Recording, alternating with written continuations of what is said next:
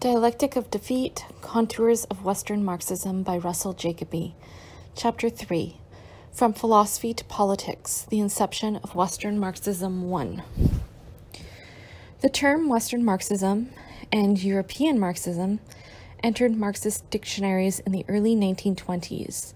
The Soviet edition listed it as derogatory. By implying that a specific Marxism belonged to Western Europe, the universality of Bolshevism and the Third Communist International, Comintern, was threatened. To the participants, this threat was not instantly evident. Moreover, the political and philosophical layers of Western Marxism unpeeled sequentially.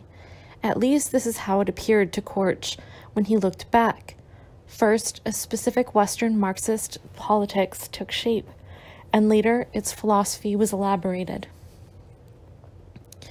As it moved westwards, Korsch explained in 1930, this Marxist Leninist philosophy of the Russians encountered the work of Lukács, myself, and other Western communists, which formed an antagonistic philosophical tendency within the Communist International itself.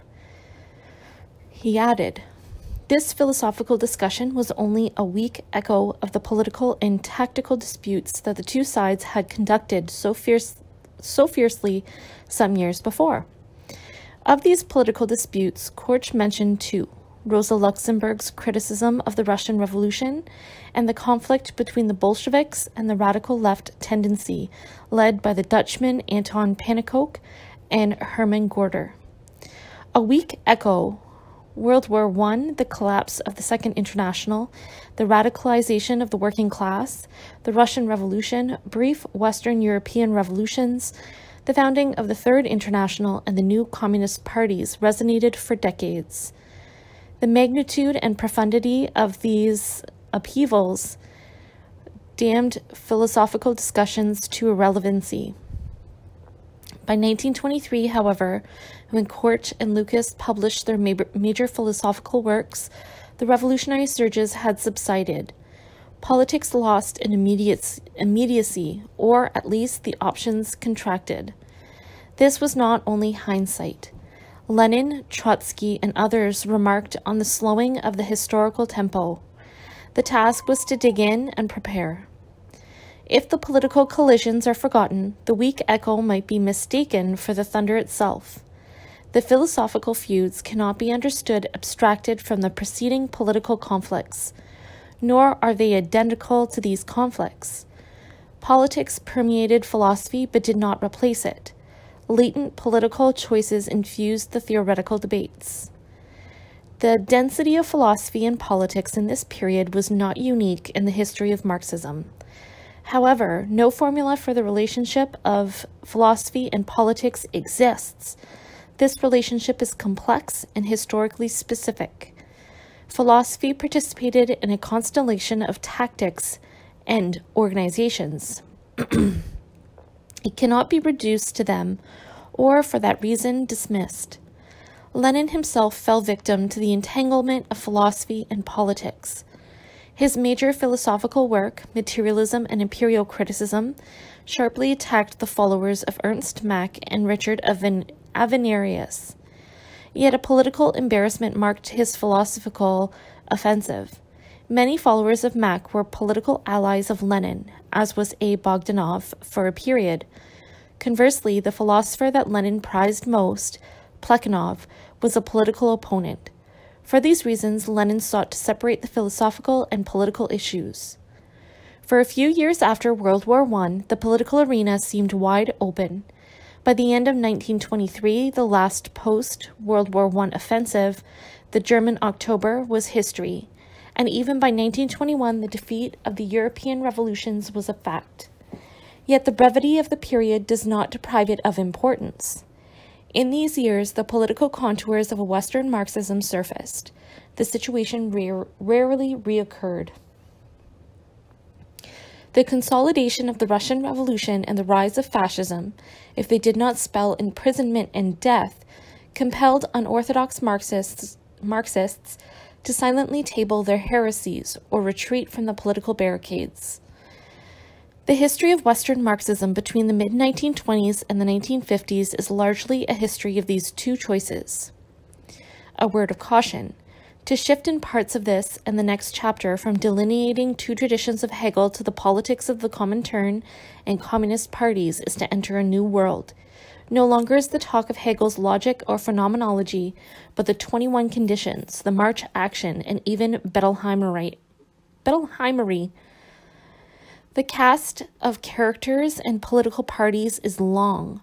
What N.O. Brown wrote to explain his use of the strange language of Freud but this strange world is the world we all of us actually live in, can perhaps be reformulated. This strange world is the world they, if no longer all of us, actually lived in. For this reason, it cannot be avoided. This chapter, however, seeks to pare away as much as is feasible extraneous details, names, and events. In this way, the danger of drowning in a sea of political incidents may be prevented and the contours of a political Western Marxism thrown into relief. The story, in any case, was fragmentary, brief, and finally unsuccessful. Yet Rosa Luxemburg, Paul Levi, and Dutch and left communists posed a series of political alternatives to the rapidly consolidating Soviet communism. They challenged the validity for Western Europe of the Russian experience and the Leninist model. As often, perhaps always, in the history of Marxism, the question of organization proved to be the terrain for political and theoretical jousting. This question incorporated a group of principles that set Marxist against Marxist. Lukács stated succinctly organization is the form of mediation between theory and practice. A simple preference for democratic organizations did not dictate the Western Marxist repudiation of Leninism. Rather, to the Western Marxists, the yawning political and social gap between Europe and Russia prohibited an, an identical practice for each. Leninism bore the indelible marks of specific Russian conditions a relatively small proletariat, a massive agrarian population, a feeble bourgeois culture. The last was decisive. The impact of bourgeois and national culture sharply distinguished Western European from Russian society. As Gorter wrote, in the Netherlands, the oldest capitalist country, bourgeois culture and values were drummed into the working class for centuries. The same could not be said of Russia. Leninism was not blind to bourgeois culture. It responded by contracting to a tighter and more disciplined party. The infection of bourgeois culture was attributed to trade unions or an aristocracy of the working class. Since the infectious source was discrete, the organizational prescription could be sharply defined. To the Western Marxists, however, bourgeois culture was endemic and inescapable. An organizational solution did not suffice. The Western Marxists responded by retrieving from Marxism the process of class consciousness and proletarian subjectivity. Their accent on process resulted from their conviction that class consciousness was not a thing to be commanded or divulged, but attained by the class itself. Herein dwelt the democratic ethos of Western Marxism. The network of bourgeois culture and passivity could not be undone by superior discipline or directives. These remained locked within its terms regardless of the purity and dedication of the party and its members. Rather, bourgeois hegemony could be contested only by engaging the whole of the proletariat, its hearts and minds. When class consciousness and proletarian subjectivity fused, the landscape of capitalism would light up. In this period, the, co- the coherence of Western Marxism and left communism was little evident. That many left communists considered themselves loyal Leninists and that it took Lenin to disabuse them of the, of the illusion suggests the confusion. Nor were the theoretical sources identical. Korsch, Lukács, Gramsci, the Frankfurt School, and later French Marxism were rooted in German idealism and the historical Hegel. This is not true of the Dutch Marxists, who looked more to Dietzgen than to Hegel. Exceptions do not prove the rule. Yet the Dutch Marxists are not exceptions in that the same categories surfaced in all corners of Western Marxism. Korsch mentioned Rosa Luxemburg's critique of the Russian Revolution as one political backdrop to the philosophical disputes. Despite, or because of, all the secondary literature, Luxemburg resists class- classification. If the interpretation of Engels indexed the philosophical separation between Western and Soviet Marxism, Luxemburg indexed the political split. For years in the Third International, Luxemburgism spelled heresy. The fate of her collected works suggests the difficulty of slipping her into conventional categories. Their publication, sponsored by the Communist Party, ceased in the late 1920s. Only after some 40 years of delay did the project recommence. Perspectives on Luxemburg and Lenin, or Luxemburg and the Bolsheviks, are themselves subject to a historical dynamic. In recent years, her differences with Lenin have been belittled. With no hesitation, she is given the official stamp of Orthodox Marxist.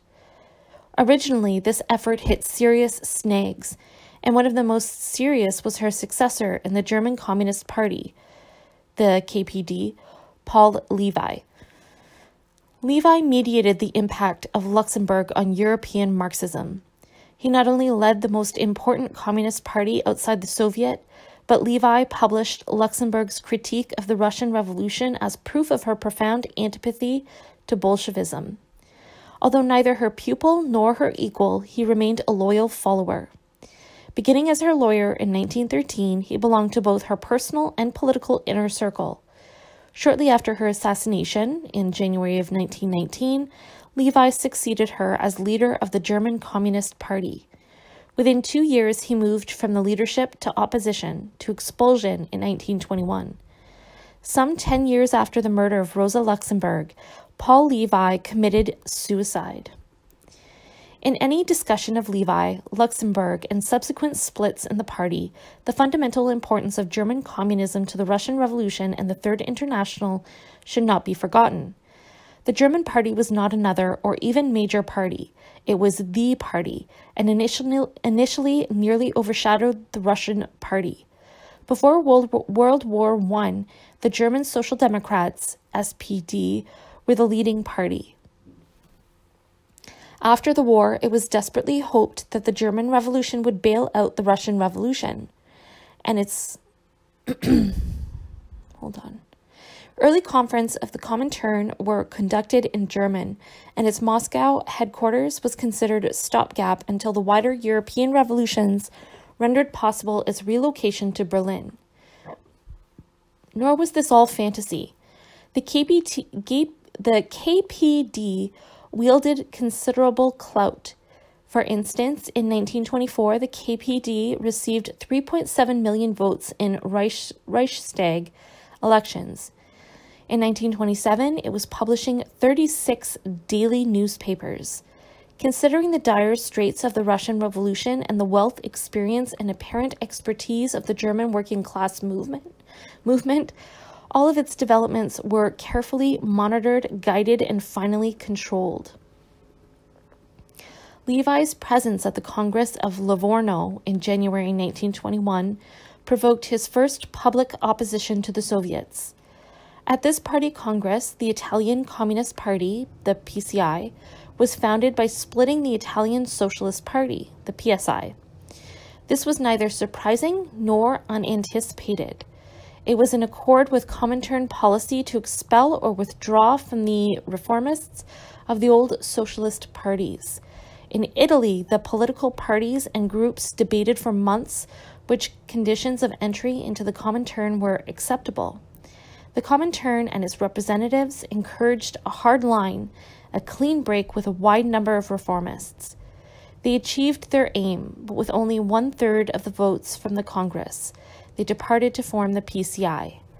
Because less than half the membership of the P- PSI renewed in either party, some historians considered the split at Livorno a fatal mistake for the Italian left. Although a schism of the party seemed warranted by the facts, the particular schism that occurred at Livorno was disastrous. Thanks to that Congress and to Mussolini, the Italian left was eliminated from political life for the next 22 years. Levi returned from Livorno upset by what he had witnessed. He was repelled by the crudity of the Comintern representatives who promoted the split. He presented a criticism of the Comintern tactics, tactics to his own Central Committee. To those who argued that it was better to be few in numbers but firm in principle, Levi replied that principles without followers constitute a party no more than followers without principles. In Levi's eyes, the Comintern employed tactics unsuitable for Western European parties. Levi objected to the mechanical split of the Italian party, preferring the organic bringing up of the masses. To create parties within the Communist International not through organic growth with the masses but through deliberate splits was risky and unproductive. If the Communist International functions in Western Europe in terms of admission and expulsion like a recoiling cannon, then he will experience in Western Europe the worst possible setback. In Levi's opinion, the Russians erased the distinction between Western Europe and Russia. They blindly applied the same organizational principles to each. It seems to me that the comrades did not clearly realize that splits in a mass party with a different intellectual structure than, for example, that of the illegal Russian party, which performed brilliantly in its own way, cannot be carried on the basis of resolutions, but only on the basis of political experience. The language and approach recall Luxemburg's distrust of politics commanded by inflexible resolutions. Levi appealed directly to her legacy. I do not want to conceal anything. The old difference between Rosa Luxemburg and Lenin emerges here again. Levi's criticism of the Comintern's conduct at Livorno was unacceptable to the new orthodoxy nor did it help that he raised the sensitive issue of relocating to the West the Comintern headquarters. He was outvoted in his own Central Committee. With other supporters, he resigned from the Central Committee and consequently watched from the sidelines the increasing subordination of KPD to the Comintern. He did not have long to wait.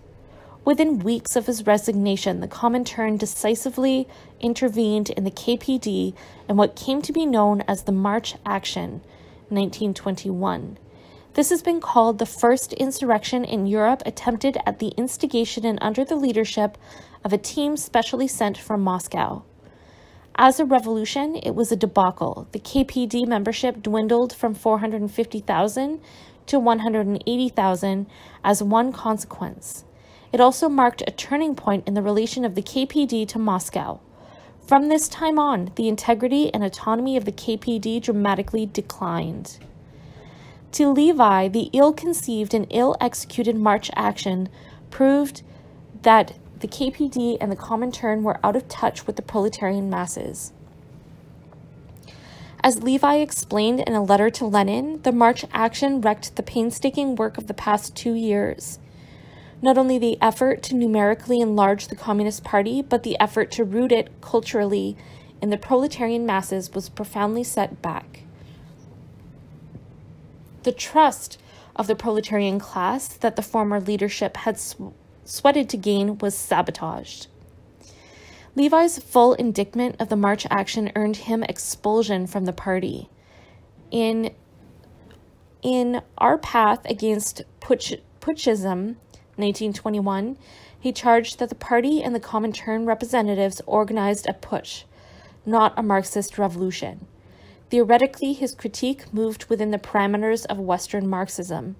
The Soviet Party, by virtue of its past as an illegal party in an agrarian country, was incapable of understanding the revolutionary traditions of the West European proletariat. The Russians bypassed the cultural structure to incite the proletariat directly by a battery of resolutions and leaflets. He commented later It's the same old nonsense that Moscow always wants to believe, namely that a Soviet type revolution would have occurred by now if there weren't a Serrati in Italy or a Levi in Germany standing in the way. The Muscovites completely overlook the fact that conditions in, the, in Western Europe are utterly different from those in Russia. There you had an agrarian revolution, revolution with some 95% of the population in favor. In Germany, the peasants are counter revolutionary. In Western Europe, the proletariat is tightly organized. In Russia, The masses were not organized. These are some of the differences that Moscow one day will have to try to grasp. Unser Weg denounced the March action as the greatest Bakunist putsch in history. The, part, the party misevaluated this subjective factor. Rather than establishing a viable relationship to the working class, the party substituted itself for the class. Any action that expresses solely the political needs of the Communist Party and not the subjective needs of the proletarian masses is in itself defective. Moreover, the political imperatives that triggered the March action were not exclusively German. As Levi wrote to Lenin shortly before the March action, a Comintern representative informed the German Central Committee that Russia found itself in an extremely grave situation, and he counseled that it is absolutely necessary that Russia be relieved by movement in the West. For that reason, the German party must immediately commence action to overthrow the regime. The Comintern, Levi concluded, was isolated from Western Europe, its most important proving grounds. The lines of commun- communication are poor and unreliable, the Comintern representatives second rate. Alluding to Bela Kun's role in the March action, Levi caustically observed that naturally Russia could not afford to send its best emissaries. Western Europe and Germany became a training ground for all kinds of petty bureaucrats. The following year, Levi published Rosa Luxemburg's critique of the Russian Revolution. In his introduction, he quoted Luxemburg's earlier critique of Lenin, which concluded Finally, we must frankly admit to ourselves that errors made by a truly revolutionary labor movement are historically infinitely more fruitful and more valuable than the infallibility of the best of all possible central committees. Levi did not challenge the revolutionary commitment of Lenin and Trotsky, but he wondered about the future once they passed from the scene. The old guard formed a small section of the party. This situation gave rise to Lenin's deepest error. He isolated and enclosed the party like a pure specimen in a laboratory, which could be maintained or improved through, through purification. He assumed a partition could be erected between the party and the broad masses. On this question, a deep antagonism existed between Luxemburg and the Bolsheviks. Levi represented Luxemburg in the first period of Bolshevization of the world communist movement. His loyalty to her ideas quickly ended his career in the party and propelled him willy nilly on a route parallel to Western Marxism. He concluded that without the spirit and sentiment of revolution, the proletarian organization was vacant and ineffectual. It is not only the size and numbers of things, it is a spirit which blows over everything which alone can raise the proletarian revolution to its greatness.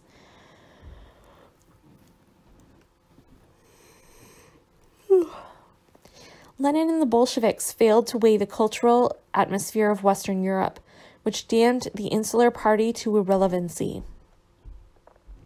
Lenin's ideas on organization were not absolutely false, but bore the imprint of the specific stages of the Russian Revolution absolutism, feudalism, illegality. Certainly, in the Western lands, there is a subjugation of the proletariat by the bourgeoisie, but the bourgeoisie practices its domination in the form of democracy, these were the conditions in which Rosa Luxemburg lived and worked.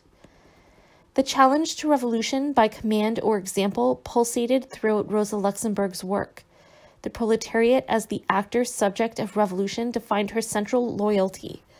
She distrusted the sub- substitution of party leadership or the bureaucracy for the proletariat. Citing Marx and Engels that the emancipation of the working class must be its own work, she explained but that does not mean that some committee of intellectuals, what deceptively calls itself the leader of the working class, orders or decides when and how the working class will begin on its goal of emancipation, but that the broad masses of the proletariat itself must recognize the need, the condition, and the means for emancipation, and through its own will enter into open struggle.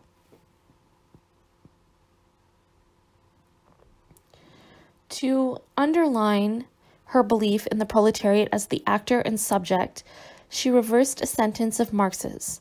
In the famous passage in the 18th Brumaire, Marx stated that men make their own history, but they do not make it just as they please. In Luxemburg's formulation, men do not make history just as they please, but they make their own history.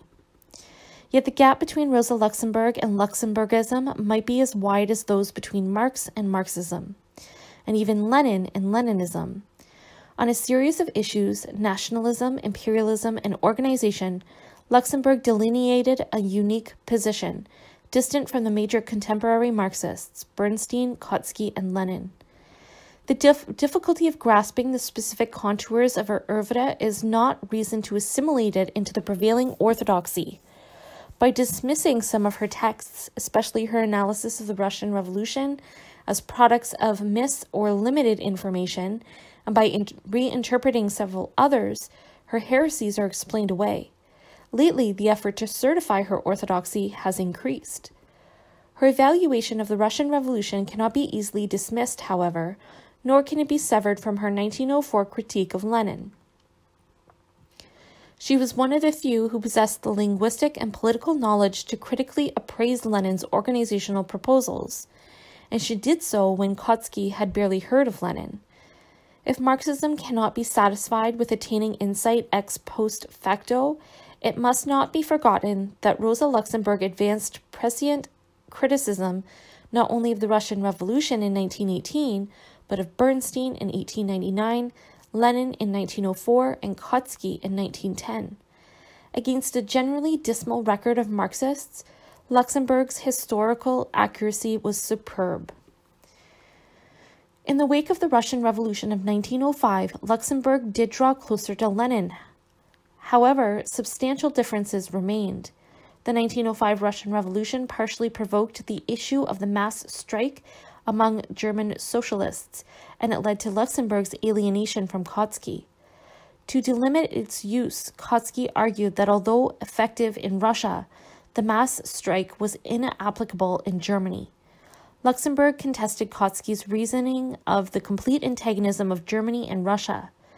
The mass strike did not express peculiar Russian conditions, but rather a general class struggle. Moreover, when Plekhanov charged Lenin with Blanquism, she partly retracted her own criticisms. There might be traces of it, Blanquism, in the organization plan that Lenin presented in 1902, she wrote in 1906, but that lies in the past. The errors were corrected through life itself, and there is no danger that could be repeated. Twelve years later, she charged Lenin and Trotsky with Jacobinism. Luxemburg did not worship spontaneity uncritically, nor did she fully escape significant ambivalences. She did retain an, an, unswerving commitment to the proletariat as the subject of history, however, and she conceived this not simply as a philosophical statement, but as a political statement. Here she differed with Bernstein, Kautsky, and Lenin. Each crippled the processes of subjective development of the proletariat. She indicted Bernstein and the revisionists for suppressing the subjective factor of the socialist transformation. They conflated means and ends, or they misinterpreted trade unions as a goal and not as a means of awareness and consciousness. For Luxemburg, the process of the proletariat attaining class consciousness constituted the heart and soul of revolution. One reformist presented the, cho- the choice of aiming a real pistol of the ruling at the ruling class or the pistol of parliamentary majorities. Luxemburg believed that this missed the essence of Marxism, the power of the class conscious proletariat. Luxemburg also broached a psychological dimension to this subjectivity. Although this was not decisive to her analysis, it marked a typical Western Marxist motive or motif. The subject of history, the proletariat, was not simply a theoretical dream, but flesh and blood, thought and feelings. Proletarian passivity could not be cleaved from psychological passi- passivity. That Luxemburg raised the issue in her 1904 critique of Lenin suggested the very different impact and consequences of industrialization on the Western and Russian proletariats. Luxemburg reviewed one step forward, two steps backwards, 1904, which, with what is to be done represented Lenin at his most inflexible. Lenin celebrated the factory as a model for revolutionary organizations, and he derided criticism of it as aristocratic and intellectual. For the factory, which seems only a bogey to some, represents that high, that highest form of capitalist cooperation which has united and disciplined the proletariat, taught it to organize, and placed it at the head of all other sections of the toiling and exploited population. And Marxism, the ideology of the proletariat trained by capitalism, has been and is teaching unstable intellectuals to distinguish between the factory as a means of exploitation and the factory as a means of organization, discipline based on collective work. The discipline and organization which come so hard to the bourgeois intellectual are very easily acquired by the proletariat just because of this factory schooling.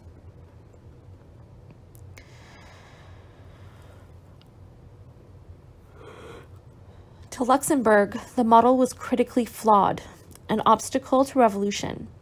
To the extent that the Marxist organization imitated factory discipline and organization, it betrayed revolution. The Marxist or Social Democratic organization did not adopt and generalize past bourgeois formations, but it reconstructed them from the inside. The revolutionary organization required a complete revision of the concept of organization, a whole new content for the concept of centralism, and a whole new conception of the reciprocal relation of the organization and struggle. Independent direct action of the masses belonged to the nucleus of the revolutionary organization. Consequently, it cannot be based on blind obedience nor on the mechanical subordination of the party militants to a central power. Luxemburg believed that the discipline and obedience instilled by factory life did not encourage but crippled revolutionary action. It is to be undone, not prescribed. She stated, Socialism in life demands a complete spiritual transformation in the masses, degraded by centuries of bourgeois class rule. She distanced herself from Lenin's glorification of the educational influence of the factory on the proletariat, which makes it immediately ripe for organization and discipline. The discipline which Lenin has in mind is implanted in the proletariat not only by factory, but also by the barracks, by modern bureaucracy, bureaucratism. In short, by the whole mechanism of the centralized bourgeois state. It is nothing but an incorrect use of the word when at one time one designates as discipline two so opposed concepts as the absence of thought and will in a mass of flesh with many arms and legs moving mechanically, and the voluntary coordination of conscious political acts by a social stratum. There is nothing common to the corpse like obedience of a dominated class and the organized rebellion of class struggling for its liberation. It is not by linking up with the discipline implanted in him by the capitalist state, but by breaking, uprooting the slavish spirit of discipline that the proletariat can be educated for the new discipline, for the voluntary self discipline of social democracy. Luxemburg's Russian Revolution does not require extensive discussion, yet its Western European or its West European perspective is often minimized. She did not condemn the Bolshevik practices in themselves, but in regard to their impact on Western Europe. Their success encouraged slavish imitation, this was the danger. She feared that the European working class would succumb to imitating the Bolsheviks. Therefore, she wanted to delay founding the Third International until active Western European parties could check the influence of the Bolsheviks. She also resisted adopting the name Communist Party as foreign to German revolutionary traditions. Nor was Luxemburg in doubt about the decisive con- contextual fact of the Russian Revolution the absence or failure of the West European revolutions. This failure exacted a double toll. It increased the attractiveness of the successful Bolsheviks and, at the same time, deformed their practices. Her analysis of the Russian Revolution moved within these parameters. External circumstances damaged revolutionary practices. Consequently, the Russian Revolution was less a model to be emulated than it was an example of the difficulties of isolated socialism. Luxemburg set herself against the gravitational pull of success. The brutal international situation dictated the brutality of the Russian Revolution. The complete failure of the international working class allowed few choices. Under such fatal conditions, even the most gigantic idealism and the most storm tested revolutionary energy are incapable of realizing democracy and socialism, but only distorted attempts at either.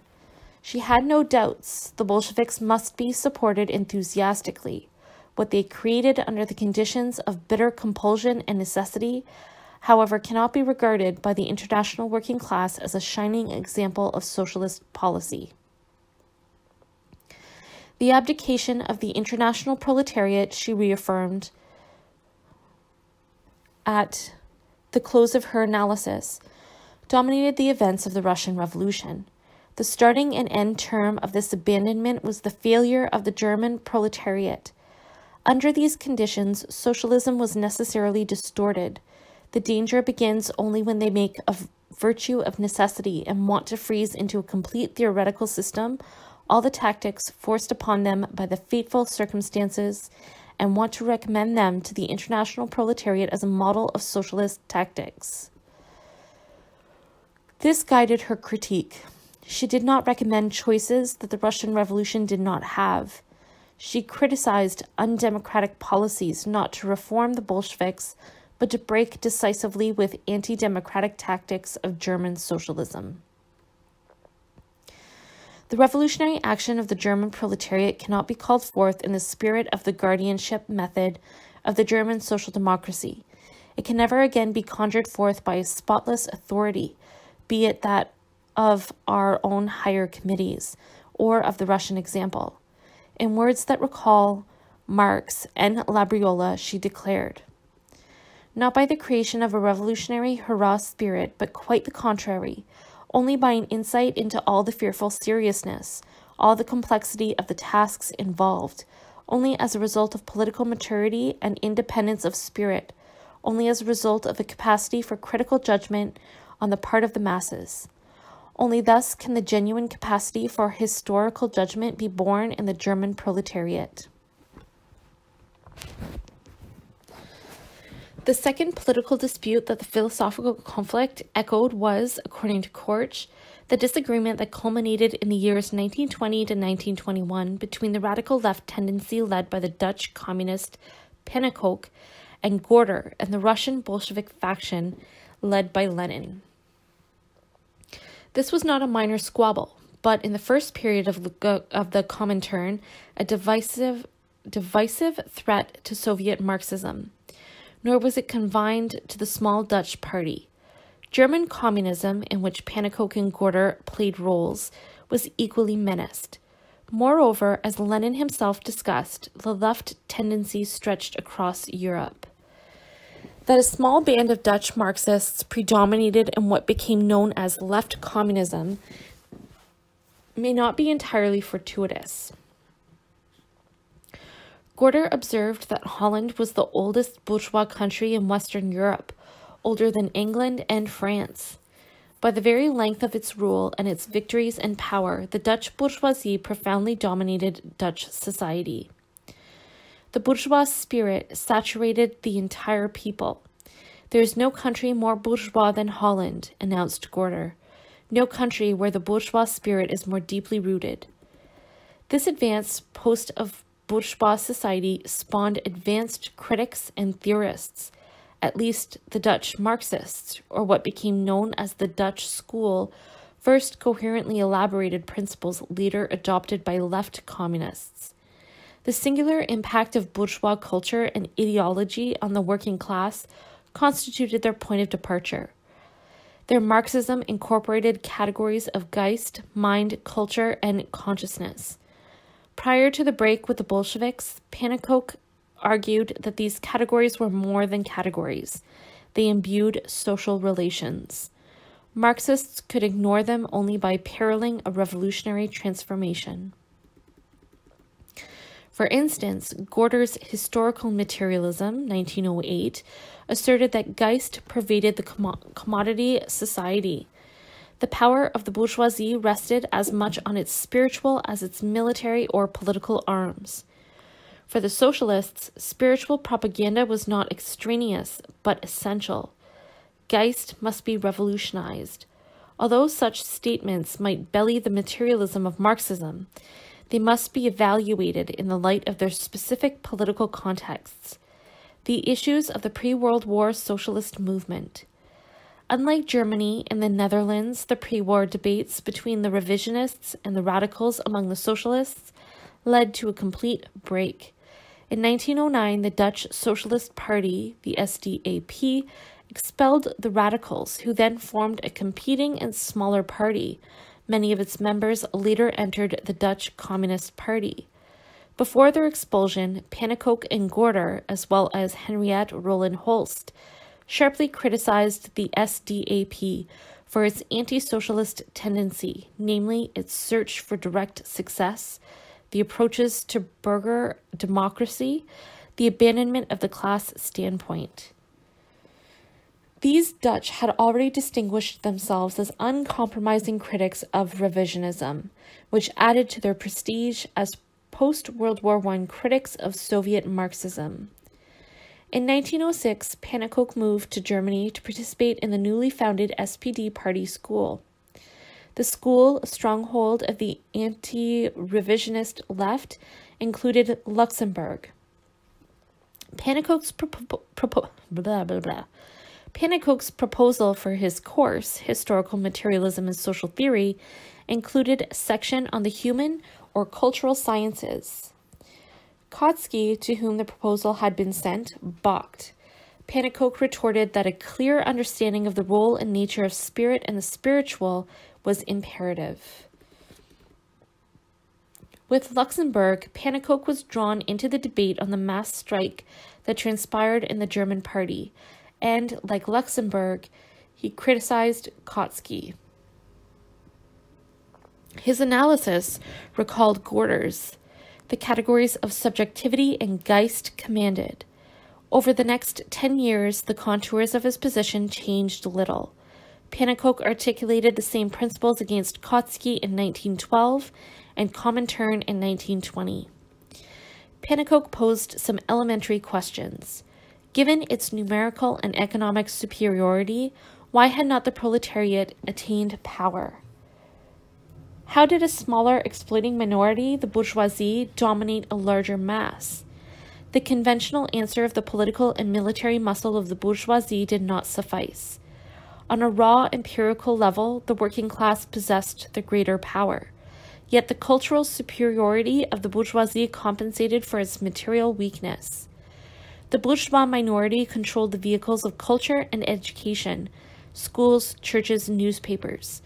By these means, bourgeois values and perspectives infected the masses. This intellectual dependence on the bourgeoisie is one of the major causes of the weakness of the proletariat. The cultural atmosphere mediated and sustained the exercise of power. Cultural power is the most powerful force in the human world. Yet the technical reason for the reign of the bourgeoisie is not to be forgotten. It also wielded a superior organization, the state. This analysis prompted two conclusions. The proletariat was faced with two tasks attaining knowledge and an organization to challenge the state. Unlike the purely objective factors, such as the size of the proletariat, these allowed choice and decision. Knowledge was the first and simplest form of class consciousness and enabled the proletariat to free itself from spiritual dependency on the bourgeoisie. Organization could not be severed from class consciousness. This was the cutting edge to Pannekoek, anticipating Lukács. Class consciousness and organization were more than connected, they nearly merged. The proletariat could not militarily defeat the bourgeoisie, nor could it compete with state power. The fiber and strength of the proletarian organization lay rather in its solidarity, esprit, and discipline. The specific virtues of the proletarian organization, which negated individualism, were foreign to the bourgeoisie. The proletarian organization transcended a collection of individuals formally bound together. At its marrow were bonds, commitments, and relationships. For Pannekoek, these surpassed economic and political loyalties, shading into a cultural or spiritual dimension. The essence of this organiza- organization is something spiritual.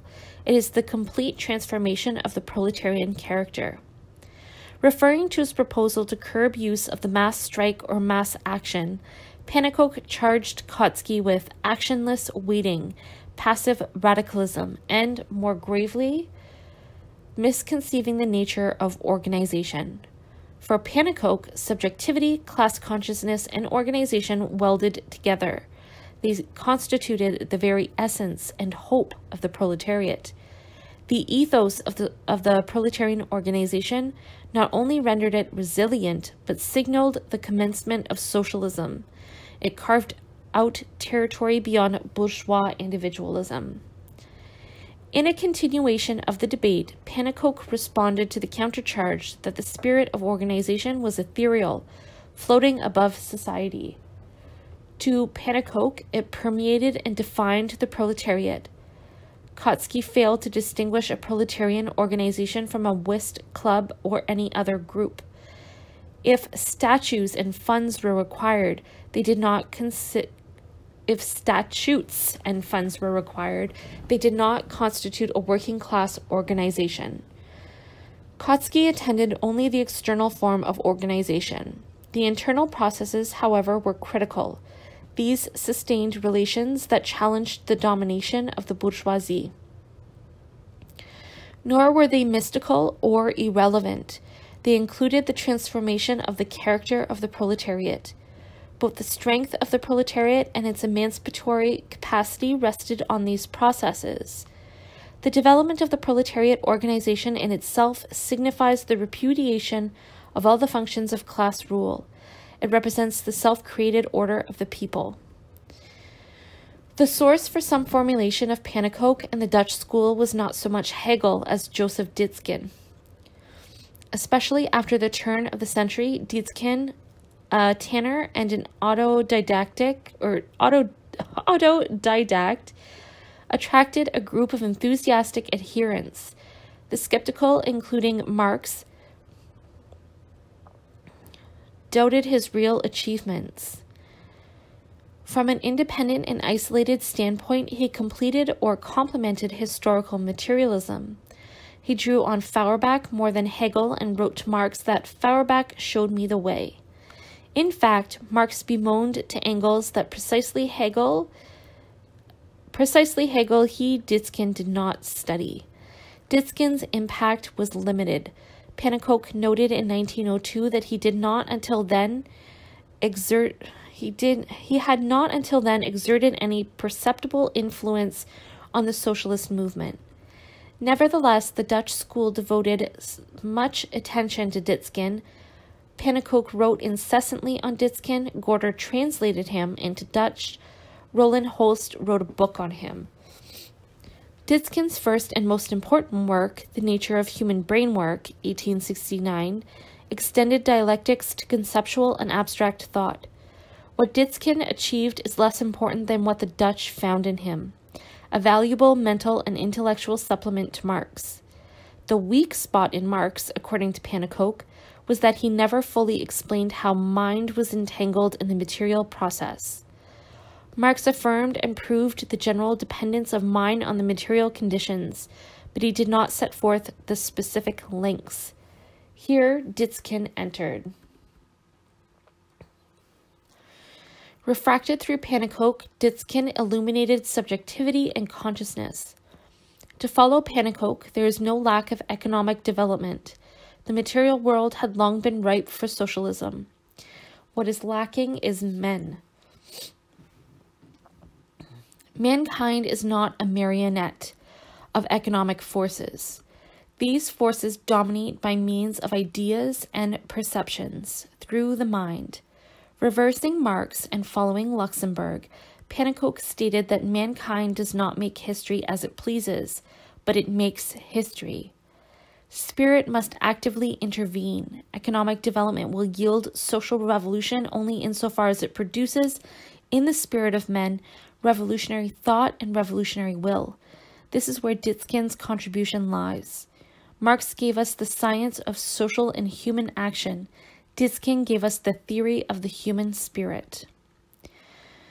With the rise of left communism in 1919, the Dutch Marxists received wider European attention.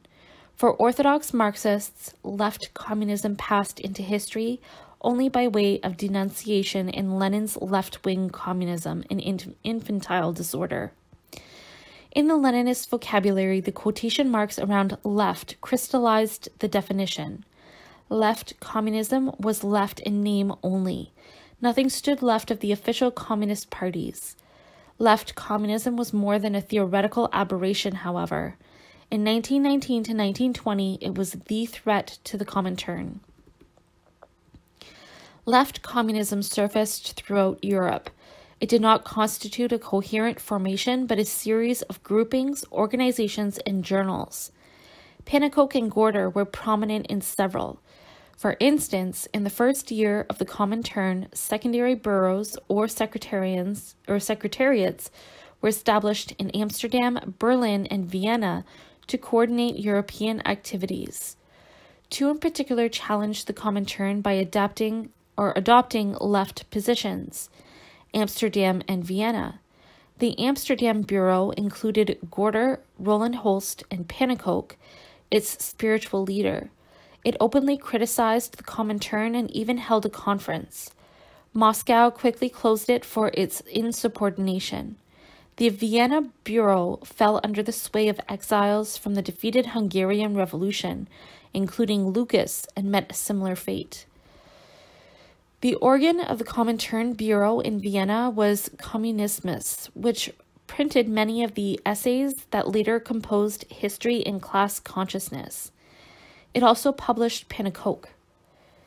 The same roles were assumed in Italy by, by Bordiga's Il Soviet, which published Lukács and Pannekoek, and in England by Sylvia Pankhurst's Workers' Dreadnought. The Workers' Dreadnought, one of the best informed and cosmopolitan newspapers of the period, ran Lukács as well as fundamental texts of Gorter and Luxemburg. These included Gorter's open letter to Lenin, discussed later, and Luxemburg's critique of the Russian Revolution, which Levi had publicized. These were theoretical icings, however, to larger political and social movements. Left communism was a political expression of Western Marxism. They are inextricably linked but not identical. Left communism did not speak a philosophical language, although it contested the Bolsheviks politically. Briefly, left communism in Germany, Italy, and the Netherlands wrote off parliaments and trade unions as vehicles for revolution. Lenin prescribed their use, but to the left, these institutions belonged to a reformist and bankrupt past of socialism. The communists could not at will manipulate parliaments and trade unions as if they were neutral instruments. By their very nature, parliaments and unions encouraged illusions in the working class about the revolutionary process. Several other principles and sensibilities sustained these political positions. A gut hatred for authoritarianism and bureaucratization marked the left communists. They prized autonomy and self regulation of the proletariat. From this perspective, they mounted a critique not only of the bourgeois institutions of the parliament, but of the vanguard and Leninist party, with the important exception of Bordiga, who is discussed in Chapter 5. Consequently, they celebrated, again with the exception of Bordiga, workers' councils, factory councils, and Soviets, Unlike parliamentary or trade union bureaucracies, these rested on the autonomy and independence of the proletariat. For the left communists, the vanguard party shared a lethal weakness with bourgeois institutions. It substituted leadership for the self movement of the proletariat. On its most theoretical level, the left communists justified their political positions by themes familiar to Western Marxism the decisive role of class consciousness and subjectivity. Pannekoek and Gorter were closely associated with one of the few left communist groups that seriously challenged Comintern leadership, the Communist Workers' Party of Germany, KAPD. Pannekoek provided much of the theoretical inspiration for the program of the KP- KAPD, and Gorter personally participated. The circumstances from which the KAPD emerged are as follows. The KPD, under Paul Levi's leadership, pursued a dual strategy clamp down on the left in the party to mollify and finally unite with the much larger and less radical Independent Social Democrats, USPD. Already at the Second Party Congress, October 1919, the party leadership clashed with the left. A resolution attacked the left or syndicalist interpretation of the irrelevancy of parliamentary elections. It also sanctioned the use of trade unions and the strictest centralization in the party. Each of these issues, parliaments, trade unions, authoritarian leadership, provoked the left wing. Not only did the resolution pass, but it called for the expulsion of the opposition. This resolution, as well as dissatisfaction with the lack of activity of the KPD during the, K- the Kapp Putsch, formed the immediate backdrop to the most important split in the K- in the KPD in its initial years. The KAPD. At its foundation, half the membership of the KPD belonged to it. The KAPD's call for a new party, April 1920, denounced the KPD's reformism and corruption. It declared that the KAPD is no party in the traditional sense. It is not a leadership party, and it pledged unity of the proletariat on the basis of councils. The theoretical perspective of Western Marxism and the political activi- activity of left communism intersected briefly. Political and tactical issues of parliaments, trade unions, and bureaucratic leadership predominated. Yet these political positions, in turn, tapped theoretical principles of Western Marxism. Tacitly, as well as explicitly, revolution was dissected as a process of the subject, the proletariat, attaining class consciousness. The formulations threw into sharp relief the subjective dimension of the historical process, including its psychological contours. The program of the KAPD, May 1920, stated that the economic and political situation in Germany was overripe for revolution.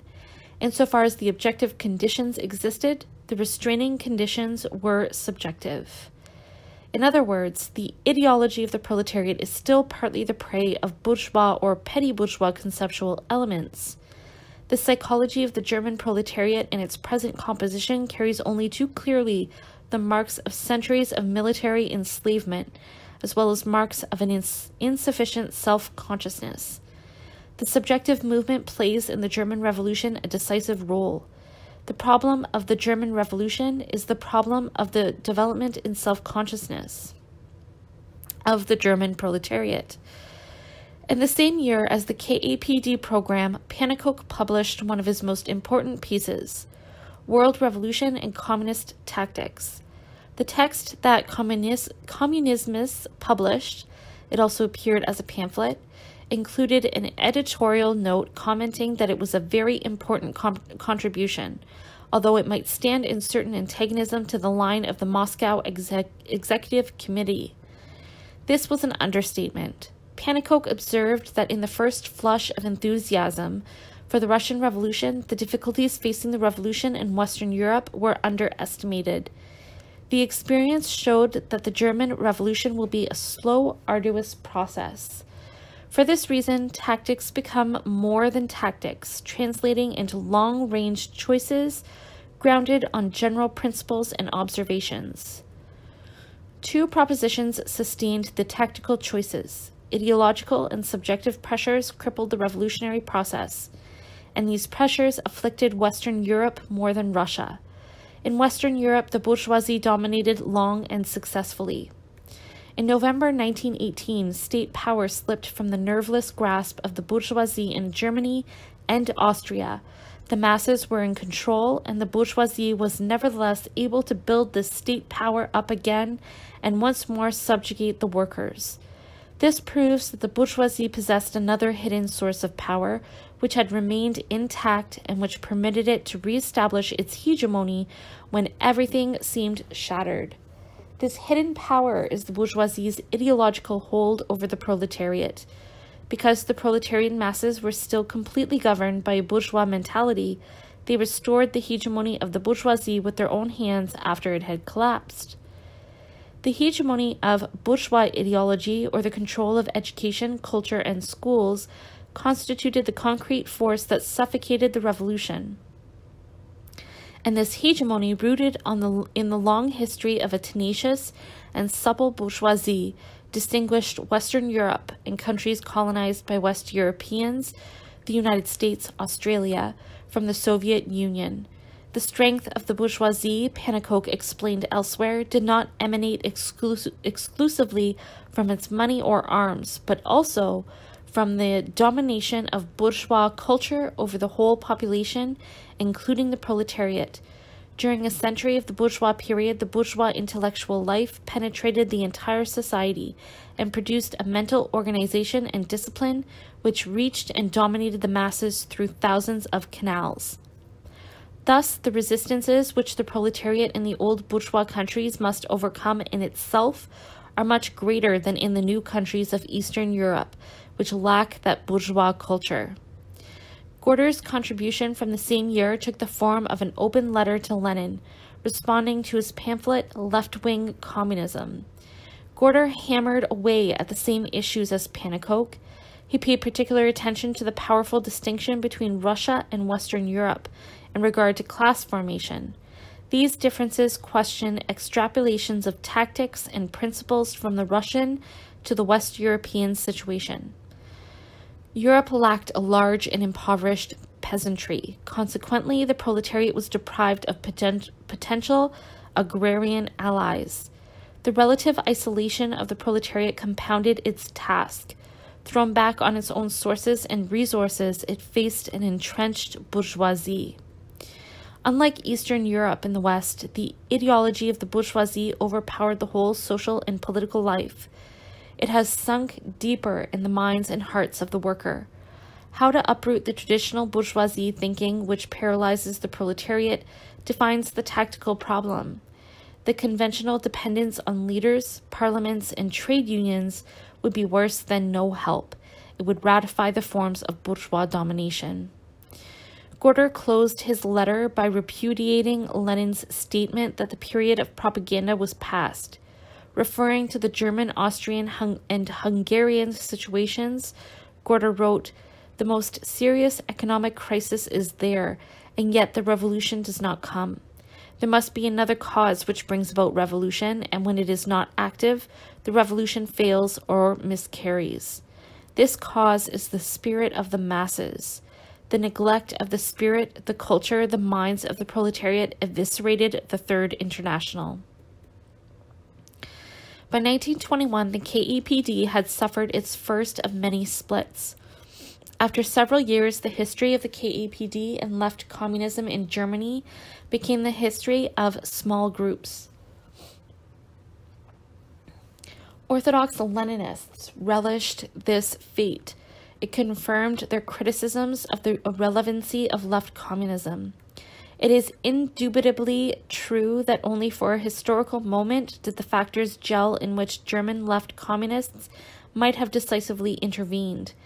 Nor was left communism, and especially council communism, without serious flaws.